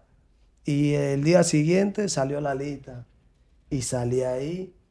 Y me acuerdo que empezó el partido y todo, pa, estamos ahí. Estoy con Eric Davis en la banca, viendo el estadio, todo. Penal a favor de nosotros el primer tiempo. Eh, Richard Peralta cobró, portero se la paró 0-0. Ya el, profe, ya el profe venía de perder con Uruguay. Y, y antes que sacara el primer tiempo, como cinco minutos antes, yo estoy con Eric Davis, estamos afuera viendo todo. Yo le digo a Eric Davis, yo dije, tíramela ahí que yo voy a llegar igualito, tíramela ahí. Estábamos conversando y él, "Ya, hermano, nada más llega, llega ahí, que no sé qué. Yo, sea, antes acababa por el tiempo a calentar fulano y fulano, Eric Davis y yo. Y estamos calentando y yo le diciendo, hermano, tíramela ahí que hoy es el día, yo hoy es el día. Entramos, al, se el primer tiempo, entramos al camerino una vez y me acuerdo que el profe estaba bien alterado, bien bravo, diciendo de todo, bravo, que, que si se perdía ese partido, lo, lo mandaban para la puta mierda, que esto y lo otro. Y, y él estaba ahí desesperado, gritando, y yo estoy con Eric Davis ahí. Y el profe, si hay otro penal, ¿quién lo cobra? Y nadie decía nada. Y si hay otro penal, y si hay otro penal, ¿quién lo cobra? Y nadie decía nada. Y yo cuando así que vi que yo, profe, yo. Y el profe se veía, ah, ya, joder, que no sé qué, que yo, profe, yo. Si hay otro penal, yo lo voy a cobrar. Y él se me queda viendo y mira a todo mundo y nadie dice nada. Bueno, si otro penal tú lo cobras, que no sé qué, yo, yo lo cobro. Y estábamos ahí, no sé qué, ah, empezó el segundo tiempo. Y ya de ahí para allá no hubo necesidad de que hubiera otro penal. Todo salió bien. Eddie Davis creo que una de las tres o cuatro pelotas que re- recibió, así mismo fue, la tiró centro cruzado y recuerdo que el pitonerito la dejó pasar. y ahí yo le impacté con la, con la pierna zurda. Ya cuando el balón entró, creo que eso fue lo que rompió el hielo. Cayó el primero. Después en la otra jugada, un centro casi a la mitad de la cancha también. Que ya cuando yo vi que había sido el 2-0, ya, ya sabía que ya había firmado de que tenía que estar en la próxima convocatoria, obviamente si seguía con el mismo nivel. Y ya quedamos ganando 4 a 0, si no me equivoco, asistencia y todo. Y ya desde ahí, eh, a mí me entrevistan, todo normal, figura. Y luego después, cuando llego a casa, mi familia me comenta que la entrevista que había dado el profe Hernán, que le habían preguntado como que qué iba a pasar conmigo y él dijo, él dijo que, que como que me había invitado a la fiesta, que yo me invité solo y que bueno, ya dependía de mí, pues mi rendimiento si, si quedaba fuera de la próxima convocatoria o, o seguía. Y de ahí eso fue como todo, pues como que ya estoy listo ahí, me toca trabajar. Y, y eso fue lo que pasó. Yo seguí, siempre me convocaban, me iba bien con el club. Incluso me lesioné con ellos. eh, un, dos días antes viajé a México, un amistoso contra México allá donde habían dos clubes interesados, Pachuca y no me acuerdo el otro. Y iba a salir titular, el profe ya me había dicho que ya había algo para mí, que no me tenía que jugar, pues que iban a verme. Y un día antes ahí fue donde me lesiono, ligamento cruzado. Y no viajé, se cayó todo eso. Y cuando me dan los resultados, él me dice que, que dependía de mí. Pues si yo le metía un buen recuperamiento, él contaba conmigo para la convocatoria que venía la Copa Oro, porque había sido Copa de Naciones. Y me acuerdo clarito que así mismo fue. En vez de coger ocho meses, nada más cogí cinco meses como con una semana, dos semanas. Y hasta la fecha estoy dándole y él me siguió convocando, pues. Y todo bien hasta que pasó eh, lo que me tocó pasar. Después de la lesión, de la lesión eh, ¿sentiste como que si- ibas a poder volver al fútbol a tener el mismo nivel? O... Sí, mira que siempre tuve seguro. Es que, o sea, no sé. El pues, talento siento- está en la sangre. Es que siento que es un don, porque créeme que desde de muy niño siempre me gusta como afrontar las cosas. Me gusta así como, Los retos, como esos retos, así, más cuando son sanos, pues. claro. Digamos que eh, del otro equipo tú eras el, el top y me gustaba como esa rivalidad y me gustaba estar ahí y siempre ganador, como se dice. Pues, o si perdía o algo, tenía que sacar algo de ahí y me motivaban pues esas cosas así. Lo, lo que me llama la atención de esto es que los que conocen de fútbol y saben que una, una lesión de ligamentos cruzados en la rodilla saben que no es una recuperación fácil que toma de 5 a 8 meses en adelante, pero él lo hizo en 5 meses. Es algo que, que se nota que no solamente es esfuerzo, sino la disciplina, el enfoque que tiene el jugador. Son las ganas de jugar. Exacto, también las No, ganas de jugar. Y también porque en ese entonces o sea, no había tanta tecnología como ahora. Claro. Ahora de repente tú sí, imagínate tantas cosas que hay, que la Play, que, que el teléfono, que las redes sociales. Y como que tú te enfrías en eso. En ese entonces no, en ese entonces la diversión era reunirte con tu amiguito ahí en el barrio, eh, jugar bolita. O sea, los teléfonos no era muy común. Tú podías tener teléfono de los 15 años para allá. Blackberry. Entonces ya era como que era todo, pues el fútbol era todo ahí, o sea, era el, el centro de todo, fútbol. Entonces, con las motivaciones que yo tenía, que era, o sea, alguna vez tener mi casa, Claro. vivir bien, ayudar a mi familia, eh, salí en el top con la selección, eh, más lo que añadían los jugadores, por ejemplo, eh, los jugadores élite, dale, métele ganas, mensajes, recupérate que te estamos esperando, por lo menos el profe Hernán, si te recuperas antes del tiempo te llevo, te o no te depende de ti, te llevo y entonces son cosas como que tienes como ya algo seguro, pues. Si lo haces bien, te lo, te lo mereces. Entonces yo siempre estuve motivado, más que todo enfocado en eso porque no había tanta tecnología como ahora. Sales campeón en el 2013, haces historia con Sporting, eh, fuiste convocado por el profe Julio y por el profe Hernán Darío Bolillo, que nos llevó al Mundial. Eh, estando en el pic de tu carrera, estando en lo más alto, se puede decir, ¿qué te hace eh, caer en ese paso en falso que te lleva a prisión? Bueno, yo creo que, que el paso infalso fue creer que todos eran mis amigos en esos momentos. En esos momentos yo casi nunca estaba solo. O sea, y todas las personas que se me acercaban lo veía como, como un amigo y, o sea, nunca, nunca supe dividir la realidad que yo tenía en, en tan, corto, en, en tan corta edad para todas las cosas que yo estaba abarcando, por ejemplo, o sea, cuando te digo que tenía muchísimos amigos, eh, ponte que era de toda clase y a todos lo veía de una buena forma Claro. y confiaba en todo porque sentía que me admiraban pues Claro, por claro. todas las cosas que yo estaba haciendo y creo que eso fue lo que, lo que me hace cometer eh, o, o fallar en lo personal a mí mismo porque al final son decisiones que uno toma, sepas o no, eh, como tener el, el discernimiento de, de- de muchas cosas, porque Claro. en su momento, si yo hubiera sido muy precavido, yo estoy seguro que nada de eso hubiera pasado. Y, y no lo era, era un pelado joven, ya con una edad que, que estaba bien cómodo, tenía mi casa, mi apartamento, mi carro, o sea, tenía una vida bien estable y no tenía como esa, esa malicia, pues. Claro. Y eso hace a que yo caiga en ese, en ese bache que me tocaba vivir. Lo que me tocaba vivir porque tenía también varias experiencias como las lecciones que no, que no, o sea, no, no supe manejar o no supe entender de que, de que en cada tropiezo era como una señal Claro. de parte de Dios y pues hasta que a él lo tocó llevarme a un lugar donde o tocaba o tocaba, pues como se dice, y ahí donde reconozco el amor tan grande que, que Dios ha tenido en, mi- en mí, en lo personal, porque no mucha gente no lo ve como un lugar bueno, pero en lo personal ese lugar es el que me ha hecho a mí amoldarme y ver la vida o ver las cosas de otra manera.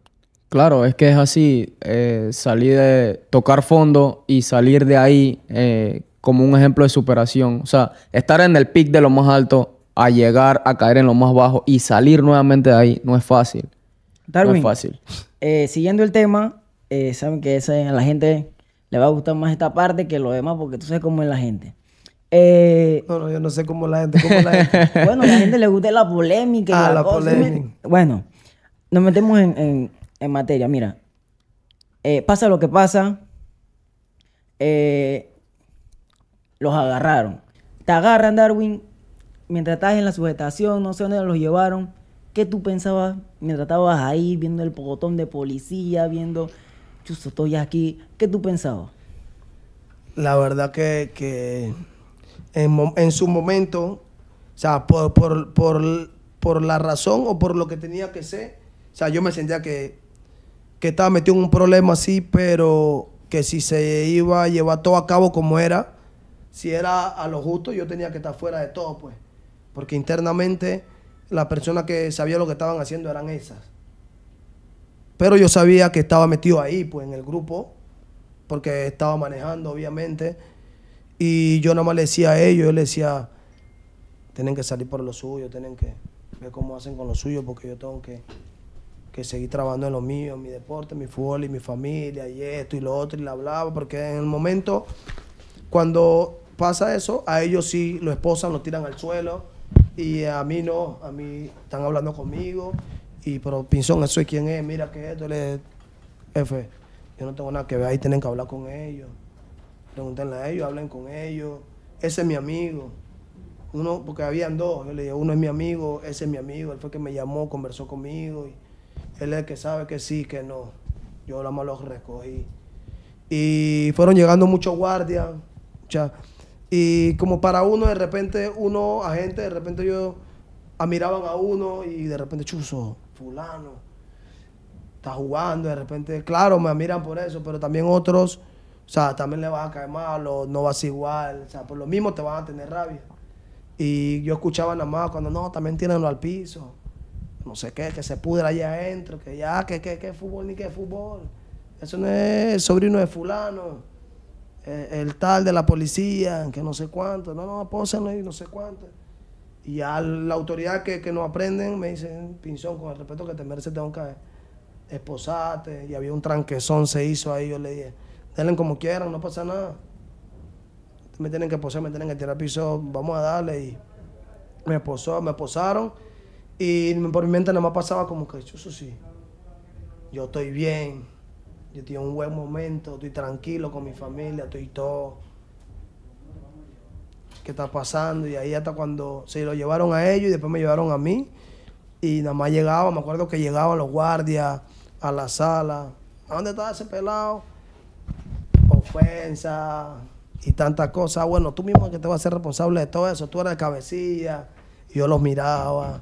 Y dos, tres, sarcásticamente, nada, que se pudra, que, que se pudra ahí adentro, que, que vea qué es lo que es y, y no sé cuánto. Y hasta cuando eh, ya nos llevan para pa parte médico y todo. y Yo callado, yo normal.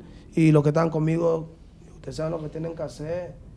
Normal, o sea que uno, por decirlo así, no claramente uno viene del distrito, uno viene formado de que cada quien tiene que salir por sus cosas y uno no puede estar tampoco hablando, o por ejemplo, de que no, pasó esto, no sé qué, que cada quien tiene que, o sea, la formación, el que sabe cómo es Claro. el barrio, tiene que ser bien.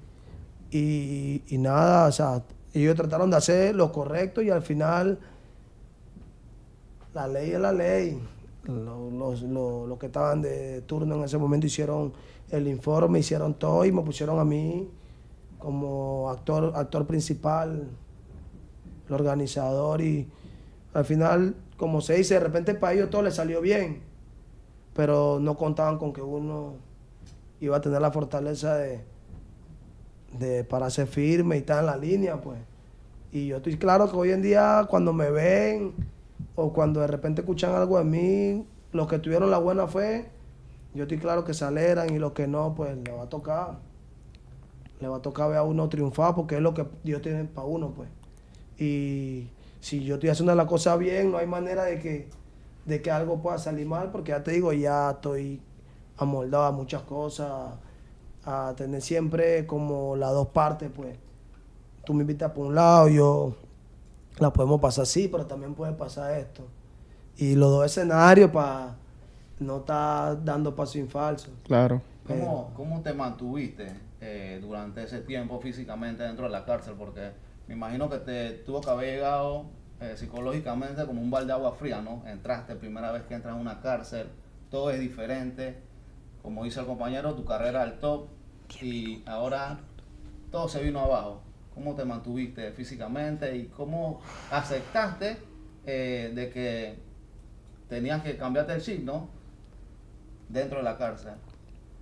Bueno, yo recuerdo que la última, cuando tú estás en proceso, bueno, yo en lo cuando yo estuve en, el proceso que fueron ocho meses de detención provisional, o sea, aunque tú sepas de que, de que estás ahí, tú tienes como esa percepción como que estoy en proceso, o sea, la palabra proceso te mantiene como que, bueno, ya esto se va a cumplir, yo me voy y voy a seguir y esto y lo otro, pero tú estás escuchando los números y cuando te dicen de que no, que, que 120 meses, que no sé cuánto, y, uno no, sabe, no sabía mucho eso, y no, que 10 años, y ya tú estás como que esto y lo otro, y yo estoy, y están los abogados hablando, y yo, no puedo, yo no, yo no puedo eso.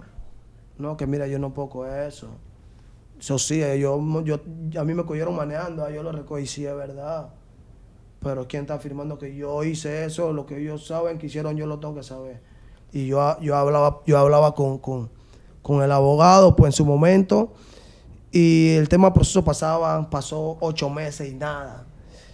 Y yo veía que me llegaban allá, que no, que ya vienen, que tal, no sé cuánto, pero nos tenían en diferentes lugares. Éramos tres en cada sector, como para no tener conversa, para no nada.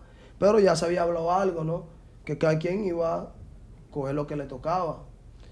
Y cuando así fuimos hasta la última audiencia, llegó, eh, ya uno había hecho un acuerdo de pena, el otro estaba ahí que en un juicio conmigo, y cuando vos que, que al que hizo el acuerdo le tiraron siete años, al que estaba conmigo hasta el último, hasta la última instancia le echaron siete años, y a mí me echaron 98 meses, ocho años con, con un par de meses, entonces...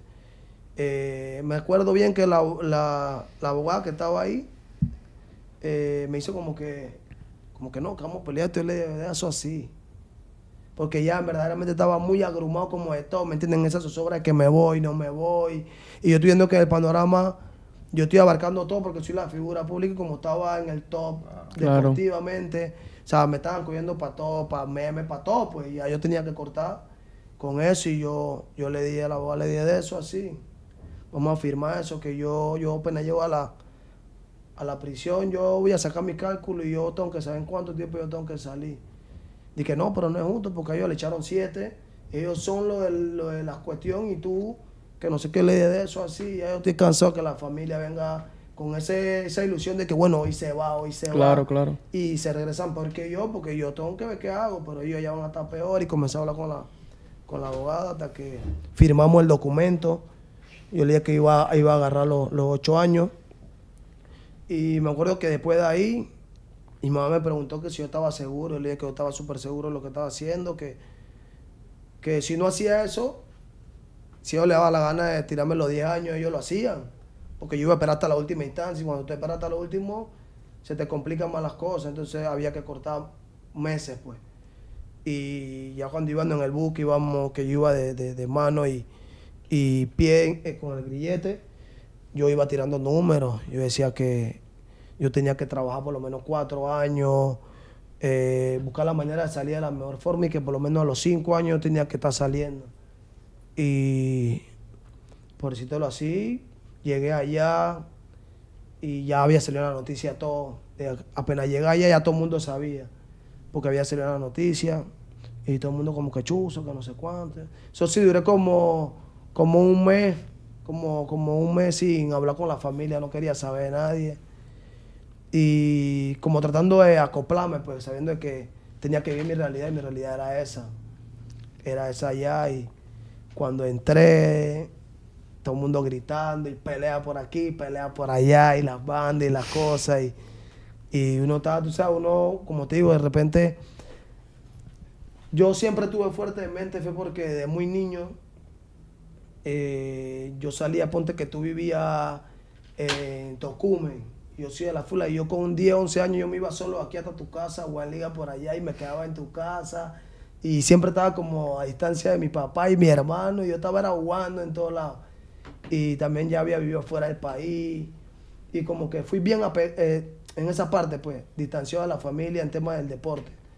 Y siento que cuando pasó eso, ya había vivido fuera del país, había viajado, había estado solo, había pasado cosas como, por ejemplo, ya estaba operado, estuve operado en Venezuela, solo, sin la familia, como que, como que el mismo panorama, pero sabiendo de que, de que ahí sí era encierro, pues. Y eso me ayudó mucho. Yo cuando, por lo menos cada vez que iba mi mamá o mi hermana o alguien de la familia, ellos llegaban destrozados. Y cada vez que me veían, ellos me veían como que, como que, ¿qué piensas? Yo no, no pienso nada. El ritmo yo lo voy a coger con calma, me toca, es duro. Ahora de repente uno hablando, uno, pero es jodido, jodido, jodido. Ve un montón de cosas y yo nada más le decía a mi mamá, a mi familia, le decía, yo voy a salir, yo voy a salir, nada más hay que tener tiempo, esperar y, y no tengo más opción que cogerla. Yo nada más quiero que ustedes estén tranquilos, que ustedes la pasen bien y que sepan de que esto no es eterno, pues le decía. Y, y fueron pasando el tiempo, pasando el tiempo, comencé a trabajar en el huerto, cargando tierra, cosas que yo nunca había hecho en la vida y, y ahí fue amoldando mi carácter, por ejemplo, eh, quería salir, los custodios pasa para adentro y ga- palos para adentro, entonces ya uno como que chuzó. Y habían cosas que uno tenía que aprender y manejar y, y de ahí para allá siempre tuve como esa como esa buena como ese buen respaldo pero como espiritual porque Claro. yo en lo personal yo a pesar de que uno peque y mucho todo carácter allá o sea, exacto entonces yo a pesar de lo que fuera o sea yo siempre puse mi confianza en Dios o sea yo podía tener amistad y todo gente que podían controlar como se dicen los patrones las voces y y mi, mi carácter o mi, mi personalidad ellos les caía en gracia y siempre tuve respaldo de casi de todo. Y las personas que hacían lo, incorrecto, pues como te digo, yo caía bien porque todo el mundo fulano viene a jugar y todo el mundo me veía, me miraba. Como otro, ya pues este pelado es futbolista y, y esto, y gente gritando locura, y entonces salían los manes, los manes eh, con cualquiera menos con futbolista. Y siempre habían contacto y a él no le puede pasar nada. Y, y en esa parte, en lo terrenal, siempre tuve respaldo también. Pues en lo espiritual, Dios siempre estuvo obrando ahí para que yo supiera caminar. Claro. Porque también allá, por escuchar o por ver algo que no tiene que ver, o sea, te buscaba muchos problemas. Y entonces siempre como que caminé. Y los problemas que tuve, que lo resolvía yo mismo, si no, la parte de la seguridad me castigaban, un mes, dos meses encerrado, y así, pero como, como se dice, era la realidad de eso ahí adentro. Darwin, ¿cuánto tiempo fue que metiste y qué decretaron en el, en el Eh, juicio? cinco años con diez meses. ¿Y decretaron? Decretaron como... Eh, que fue... eh, ¿Por qué fuiste acusado? ¿Por qué? Ah, de que robo agravado. Mm. Robo agravado. ¿Cómo arma de fue, fuego. hablando ya de eso, cómo fue todo el movimiento de Veragua? ¿Quién fue la persona que fue allá? No sé, porque lo intentaron, dijiste al principio que lo intentaron en el Mundial y no se pudo. ¿Quién fue la persona de Veragua o X que habló para que tú salieras a jugar fútbol? Eh, el profesor Anthony Chalate Torres, conocido como el caballo de hierro. Él, cuando nosotros quedamos campeón con Sporting, él era el director. Y también era el presidente, era Manolo Mirambel. Yo estaba allá en la prisión y me acuerdo que me fueron a la visita del abogado y el abogado me dice que el Veragua, Veragua CD, se llamaban ese entonces. El Veragua CD eh, se contactó el señor Chalate y Manolo Mirambel así, así, me pasó todo, estábamos conversando, que te van a ayudar, que quieren sacarte, que no sé qué. Y yo dije, pero si Manolo no está aquí en Panamá, ¿tú estás seguro que tú hablaste con esa persona? no, sí, así, así, así, no sé cuánto. Yo le dije, ya bueno, dile al viejo que vamos para encima, dile al viejo Chalate que yo estoy bien y que yo me voy a poner para lo mío, y que no dice que no, que no te han olvidado y que se van a poner para eso que depende de ti. Ya eso fue como en el 2019 habían pasado como años, ya como en el 2019 por ahí.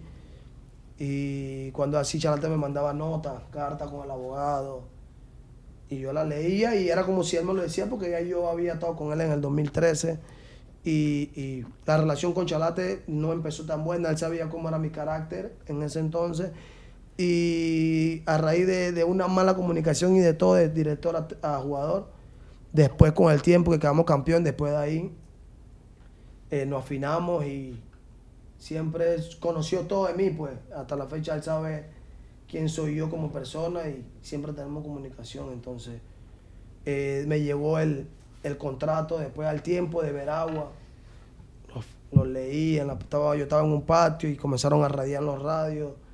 Eh, al, Halcón, eh, sector A, no sé cuánto, que el privado Darwin Pinzón que le llevó el, el contrato, y yo estoy ahí, estoy escuchando al custodio que está con el radio y yo, yo, chuzo, llegó de verdad. Y está la mitad de talito, que no sé qué, y está el patio lleno, y, y yo estoy ahí, la seguridad ah, mueve, corre para allá, que porque va. Yo me fui, comencé a leer todos los papeles, el contrato, y yo, yo estoy aquí preso. Y yo esto no me lo hace Dios, ¿me entiendes? Yo estoy ahí, yo estoy subiendo todo, página por página, y yo firmé todas las páginas, entregué todo. Y todos los custodios, desde ahí ya yo comencé a discernir todos los custodios que a los, cuando recién yo llegué me comenzaron a tratar mal, que me dieron un poco de cosas, incluso en el trayecto ese, que ya tú no sirves, ya tú no vas ni a jugar y todo lo demás. Yo estoy leyendo esto y ellos están ahí viéndome, y que ahora sí va para afuera, sí vamos a hacerlo bien, que vamos con todo. Yo lo miraba y yo, y vamos para afuera, estamos bien, estamos pretty, que no sé cuánto. Y se fue el, se fue el, el, contrato, todo normal. Ya después, cuando así la misma seguridad, dije no, que, que, que, vamos a darle chance para que se entrene, que no sé qué. Yo también de una vez también hablé con el jefe, yo nada más que me dé una hora afuera para yo poder ponerme a tono, poder salir bien, por lo menos para intentar lo que miren. Y fue una reunión que se hicieron para que eso se hiciera, se tuvieron que reunir. Eh, la seguridad está un poco, pero se tuvo que reunir casi todas las voces del, del, sector. Y comenzaron a hablar con la seguridad que tenían que darme el espacio, que tenían que dejarme a mí en mi mundo para yo hacer mis cosas, para salir, que, o sea, que si ellos querían que yo saliera eh, para jugar o que querían jugarme la carrera, entonces se llegó un punto de que me daban el chance ya faltando como, como dos, tres meses ya para poder que se diera. Fui como a cuatro o cinco audiencias y todas se, se caían porque me ponían como un peligro para la sociedad, me acuerdo clarito. Y también en ese mismo laxo me llegó un oficio de, otro, de otro robo de no sé quiénes eran y que me querían hacer un, acuerdo de pena, la condena que yo tenía, con una condena toda nueva que yo no sé dónde había salido, que por todo me querían que 25 años. Y yo, no, yo comencé a debatir con el abogado y bravo, y el abogado me decía, no, pero yo no me voy a calmar como me voy a calmar. Si son 25 yo no voy a salir nunca, yo no tengo nada que ver con eso, yo estoy pagando mi condena. Lastimosamente sale que, de que estoy en un robo agravado, bueno, ya yo estoy pagando mi condena, yo no voy a dar.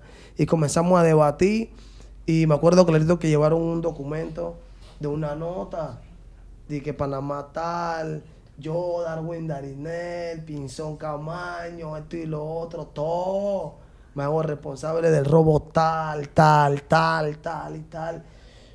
Con mi firma, lo último y todo. Yo estoy viendo las cosas, pero yo estoy leyendo todo. Yo, y yo le digo al abogado, yo ese no soy yo. La- yo le di a la firma hacia mía. Porque yo había cambiado, en ese lapso yo había cambiado al abogado. Y yo le estoy diciendo al abogado, yo ese no soy yo. Dije, ¿por aquí tú le has firmado documentos que no sé cuánto? Yo le dije, yo le firmé como dos o tres documentos al abogado que yo tenía, pero era porque él tenía que hacer una nota de que el último pago del Sporting, o sea, ya con que yo la firme, él nada más tenía que poner todo lo demás y el club, y también tenía que mandar a, cobrar una propaganda que ya había hecho, y le hice como dos tres, y cuando ellos, ella está segura, yo sí, le hice. Si yo, incluso, mire esto, yo estoy aquí metido, ¿cómo yo voy a hacer eso? Yo no hay manera, si yo estoy aquí, que no estoy entendiendo qué quieren hacer conmigo. La cosa es que fueron como a la semana, la fiscalía, me pusieron a hacer como, como más de 200 páginas la misma carta. Y yo le estoy diciendo, mire, para empezar, esto no puedo yo porque yo me llamo Darwin Darinel. Y ahí dice Darwin Darisnel. O sea, que yo no voy a escribir mi nombre mal, eso es imposible. Y le dije, yo tengo añales que yo no sé qué escribí, yo no...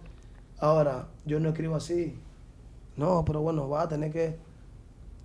Dale y dale y dale y dale. Me dolían los dedos, yo dale. Y yo me acuerdo que el fiscal, como ellos siempre van a querer que a ti te condenen y que tú... Y el fiscal, bueno, ahora sí nos vamos a dar cuenta porque ya está cansado, ya el brazo se va, se va a ver. Y yo escribía, escribía. Pero escribía, o sea, fluido porque yo sabía que no había sido yo, pues. Porque yo no escribía así.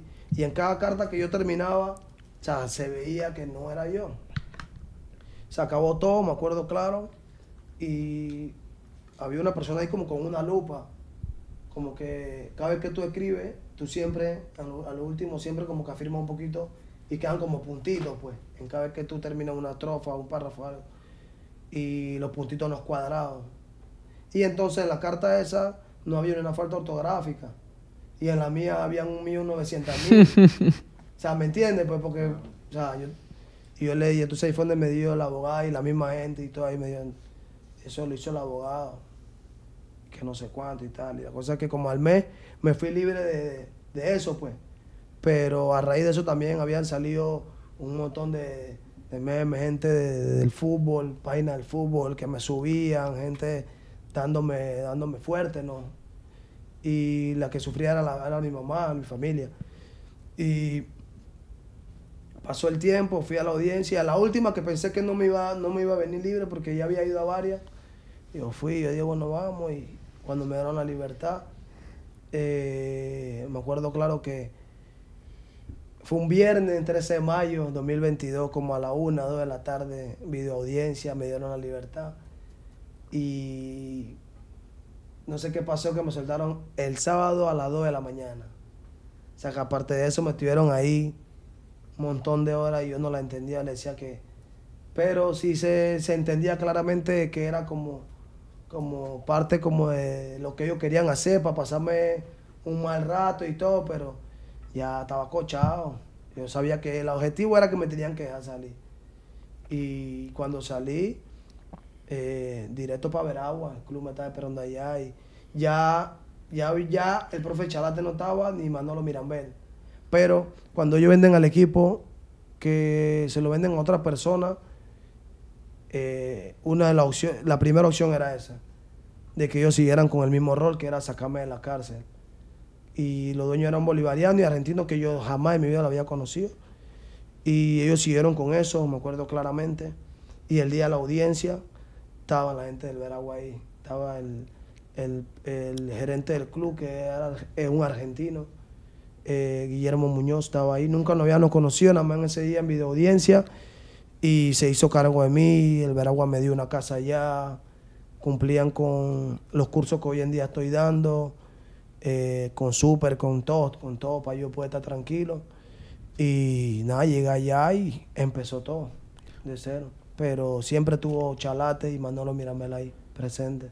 Yo soy fiel creyente de que la vida da muchas vueltas, de que puedes estar arriba, pero mañana puedes estar abajo. Y la verdad es que eh, verte eh, salir de lo más profundo a nuevamente hacer lo que te gusta, eso que por lo que tú decías, tengo que meterle, que era el, que es el fútbol. Eh, el profe Christensen te hace el llamado también a la selección. ¿Cómo respondes a eso tú cuando ves que, que después de un proceso largo de caer en prisión, de estar nuevamente en la selección, ¿cómo te sientes tú después de eso, Darwin?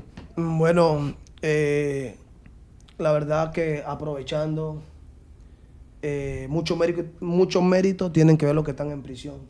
Los que estuvieron conmigo, que me hice amistad con ellos, con la persona que Dios puso en mi camino, porque te lo digo como hombre, llega un momento en que tú no quieres nada. Claro, Yo duré como un año sin ir al patio ni nada y yo me puse gordo y yo estaba que veía la salida lejos, ¿me entiendes? Y yo, oye, esperamos más adelante. Y yo le decía eso sí, aferrado a Dios, le decía que si él me mantenía con, el, con ese talento, claro. yo iba a sacarle provecho al máximo, pues como hasta la fecha, que nunca he dudado, pues.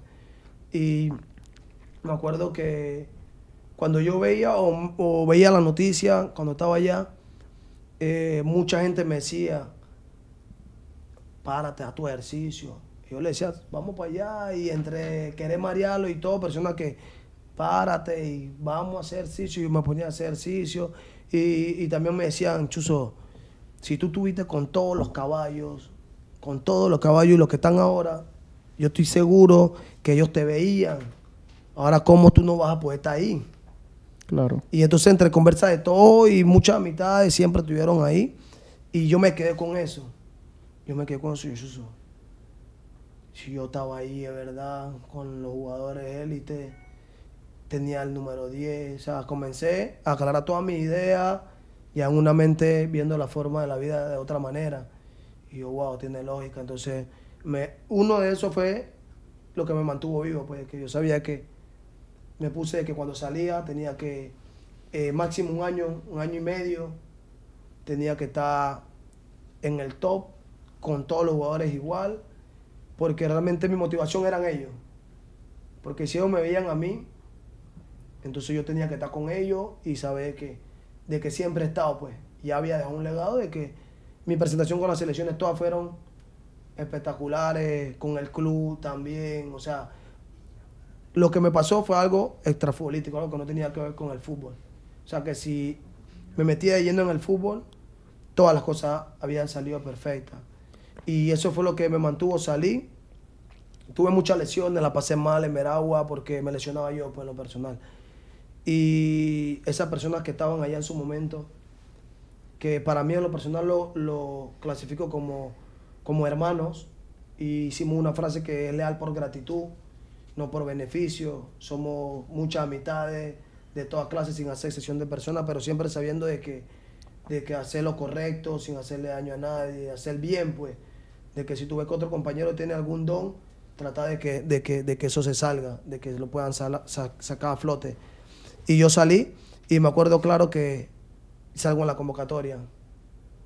De que salgo en la convocatoria y cuando me veo allí, eh, no lo podía creer. Porque la primera pregunta que me hicieron era si yo podía salir del país. Y había que ir a audiencia y un poco de cosas. Y le dije que sí, tomaron la decisión de que sí iba a hacer todo el protocolo como, como era para yo estar. Y una vez que, que estuve ahí, me lo esperé mucho más, de repente en dos años. Y cuando pasa, yo dije, wow, ah, no es mi tiempo, pues es el tiempo de Dios. Claro. Y siempre que me pasan, cuando me pasó esa cosa, me acordé de mucha gente que, que en su momento me tiraban la mala. Gente que de repente hasta tu propia familia siempre hay miembros de que ellos no, no le da la gana de que tú lo logres, de que bueno, por, lo, por la visión de ellos, que es tan corta, bueno, ya él no va para ningún lado. Ya se acabó. Si realmente la realidad era esa. Me pasó eso, estuve en la prisión. Cinco años, en cinco años, pff, en un año tú te desapareces ya. Ya olvídate, sí, jugaba, pero hasta ahí ya. Entonces, cinco años, la realidad era que ya se había acabado todo. Pero ahí donde de repente uno mismo sabe que el soñador muere cuando ya tú no quieres nada, que ya tú dejas todo tirado, que ya no quiere nada. Entonces, eh, mis sueños siempre estuvieron a- al tanto todo y cuando se da, primero me sentí bien yo, Claro. Conmigo mismo, por el sacrificio, o sea, me acordé de todo lo que pasé, todo y que todo lo que yo me propuse, todo se vino dando paso a paso.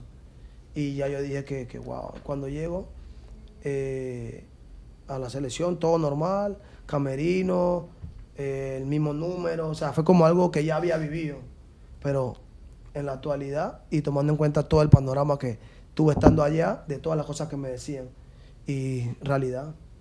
Ahora en tu vuelta al fútbol, ahora que tienes una segunda oportunidad, ¿hasta dónde quieres llegar, Darwin Pinzón? Yo, en lo personal, eh, soy un hombre de meta. Me gusta trazarme metas, aunque parezca loco y todo. Y hermanos que han estado conmigo compartiendo en- ahora y los que han conversado conmigo. eh, mi objetivo es que este año, o sea, ve- era venir menos a más y lo he estado haciendo. Y ya este es el último, el último año que voy a estar en Panamá. Primero Dios. A final de año que termino mi condena y todo, yo sé que el año venidero tengo que estar fuera del país, en cualquier lugar, pero fuera. Y si Dios me da la dicha regresar o, o a lo llamado a la selección, o ya cuando me retire a disfrutar de mi familia. Claro que sí, Darwin. Eh, gracias por haber compartido con nosotros este podcast. Eh, un podcast histórico, ¿no? Para nosotros es el primero, estrenando estudio y teniéndote a ti como invitado especial el día de hoy. eh, te vamos a dar ceder los micrófonos para que mande eh, ese mensaje. Tú eres eh, esa persona, una persona la más indicada para mandar un, un mensaje a toda esa gente que viene de los barrios, que han tropezado por una mala decisión, han tomado un camino correcto. Eh, mándale ese mensaje a todos ellos. Bueno, eh, aprovechar primero a ustedes por el espacio, por el tiempo que nos hemos tomado acá. Eh, lo hago realmente porque me nace, porque me gusta y porque, como tú bien lo has dicho, ¿no? Antes de mi cuestión, eh, yo era una imagen, un ídolo para muchos niños, para personas que les gusta el fútbol. Y en su momento como que flaquearon y pues ahora que estamos nuevamente, eh, como tú lo dices, creo que, que puedo ser la persona adecuada para decirle que eh, errores vamos a cometer todos, de diferentes maneras, pero lo vamos a cometer.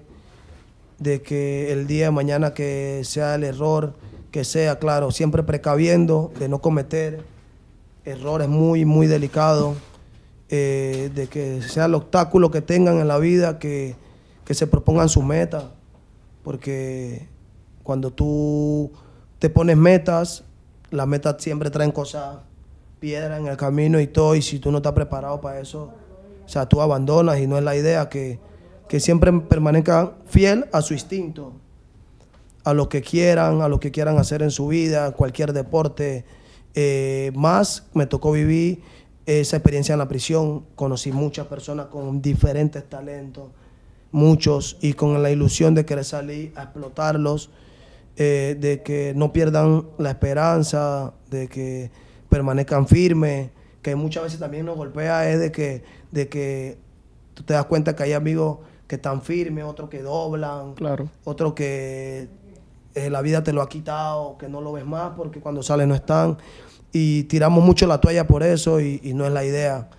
Que sean muy precavidos, que más que todo la educación, sus padres en casa, que por más lo que sea, uno tiene que estar bien con sus padres. Uno de los mandamientos que, que si tú lo haces, aunque parezca algo sencillo, es lo que más te da la bendición y de que siempre sean firmes a su, a su identidad y que siempre traten de ser una imagen para las personas, que hagan lo correcto y que nada, disfruten de lo que les gusta, de diferentes deportes y que siempre permanezcan firmes en lo que, en lo que quieran hacer. Excelente. Claro. Eh, ¿Tienes redes sociales, Darwin? Sí, claro. Darwin Pinzón 10. Excelente, ya saben, eh, sigan el canal Teledeportes, eh, activen las notificaciones, sigan las cuentas de Mike Morales. Mike ¿Cuáles son Morales. ¿Tu cuenta? Mike Morales 1, Mike Morales 1. También M Deportivo 7. También agradecer a la gente de aquí del Bunker, ya saben, para cualquier podcast, cualquier grabación, pueden venir aquí al Bunker. Estamos ubicados aquí en Plaza Carolina. También agradecerle a la gente de Molten, también Darwin, Ah, que sí. sabían que venías acá. No, claro. y te, van a, te vamos a hacer entrega de un obsequio. Me imagino que tienes uf, suficientes balones. Pero bueno, eh, un obsequio lo puedes agarrar si deseas, ese es tuyo. Sí, esto es lo más importante. Cambia sin eso, no se puede, balón, sin ¿no? eso no se puede hacer fútbol. es importante y agradecido, agradecido. Los detalles pequeños son los que más valen, así que gracias. Gracias a ti, Darwin. Gracias. Eh, ya saben, sigan la cuenta M Deportivo 7 en todas las plataformas, Teledeportes en todas las plataformas, Mike Morales, Darwin Pinzón, El Bunker, Molten. Este fue el podcast de Teledeportes. Nos vemos en la próxima. Aplauso. Bien.